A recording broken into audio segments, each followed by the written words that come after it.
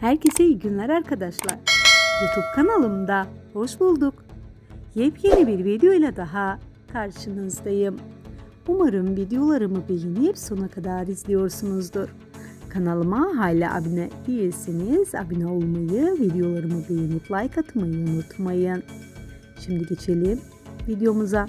Hande Erçel önceki günü sevgilisi Kerem Bürsin'in e, ile zorlu alışveriş merkezindeydi.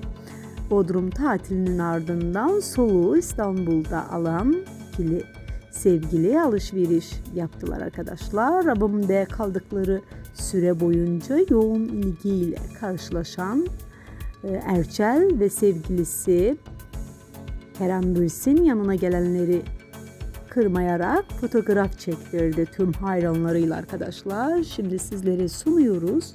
Şimdilik benden bu kadar. Kendinize iyi bakın. Bir dahaki videolarımda görüşmek üzere. Bay bay.